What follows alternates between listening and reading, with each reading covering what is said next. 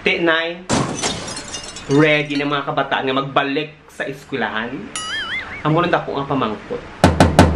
Pero antes ina, duenyas, mayong adlaw sa inyo. Kag tani, kamo naman ang ara sa mayong nga kahimtangan. Kag madamo gid nga salamat sa inyo paglantaw. Kag pagpadayon nga pagsuporta sa akon nga mga videos. Halong gid kamo dira. Sa subong tiyempo, anda ko nga pamangkot kung bala ining mga kabataan, tagang ginikanan, ready na nga pabalik ko ng ilang nga bata sa eskwelahan. Kasi syempre, ginakulbaan. Pero mga ginikanan, you have the choice. Pero ining gobyerno, kapangita man sang pamaagi, kaya syempre ang ila gusto is the safety of your children. Nugay ako da. Amo nang ila nga gusto, gani kalma ka mo dira. Nugay gigi ka mahala ka pinamangkot, kaya syempre tanan kita confused sa nagakalatabo. Okay, kalma, relax.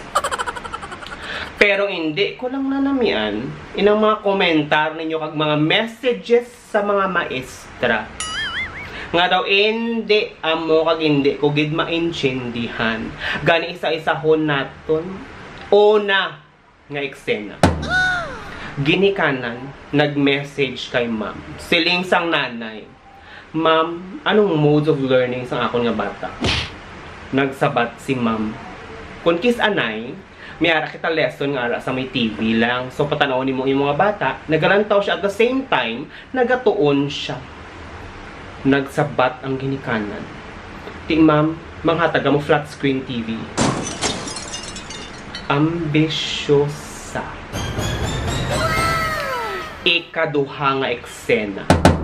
Nag-message ang ginikanan kay ma'am, siling sang nanay. Ma'am, ano inang online learning? So, ginpaathag ni ma'am. Siling ni ma'am, inang online learning, kung kisatagaan ka mo USB, tapos i-open ninyo sa laptop, ara dira ang lesson sang bata. May instructions kung paano ninyo inahimuon. Hapos lang man, nagsabat ang ginikanan. Di ma'am, ma-provide ka mo laptop. Ambitious sa nga paka. Ikatatlo nga eksena. Namangkot ang ginhikanan. Siling niya, Ma'am, di ko may assignment ang bata. Sinong mabulig sa iya? Kung may lecture nga hindi niya maintindihan, anong himuon dira? Kanami nga pamangkot. So, hambal ni ma'am, siling niya nay, kung may assignment gid man, pwede nga i-assist nimo. Tapos kung ang bata may ara sang hindi na intindihan, pwede explikaran nimo para iya nga mabalaan. Ang nanay nagsabat, ay ma'am, do ako galing teacher, ti pilang sweldo ko dira. Ambisyosa. Tapos nagdugang pa. Di ko mag-amo na ma'am, hindi ko na lang siya pagpa-eskwilahon. Ah. Ako na lang matudlo sa iya. Sa batang nanay. Ambot na lang gid. Mag-amo na klase nga ginikanan. Pero hindi ko mapungga ng ako nga lawas.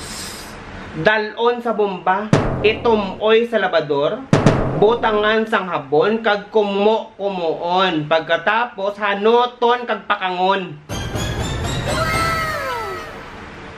Hindi ka gid makabulig sa imo nga bata. Wala ka gid sang pwedeng i-provide o kun ma-impart nga knowledge sa imo nga bata. Wala ka gid sang may nabalaan. Di ka tanda, maghala ka bika. Ay, ambot.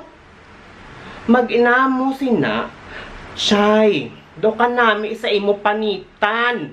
Tapos paligid-ligidon sa dalan nga ginasinan.